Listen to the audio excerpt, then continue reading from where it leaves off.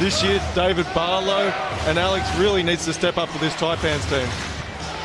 Casper Ware fires and finds the bottom of the net as well. So You need Big Lousy's contribution. Maybe get him a couple of cheapies, take that pressure off. Casper Ware elevates again, and it's all the bottom of the net. That's nine without reply. Did a good job there.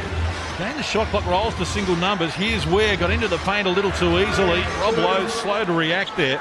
Evan Hall Woeful offensive set, but they kept it alive. Almost coughed it up against, but it's Ware for the three ball. They've now hit 8 of 11 threes in the game. Kenny a Hungry Jack circle at halfway. Now he looks to get a little busier.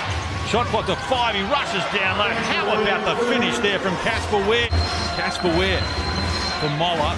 Exchange passes. Now Casper's got the open three. And he knocks it down. You better guard me too.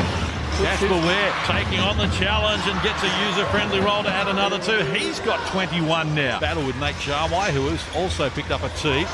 Good tee there from McCarran. Comes to Barlow. Now Casper Ware looking ominous. He pulls up from the Sportsbet logo and drills another triple.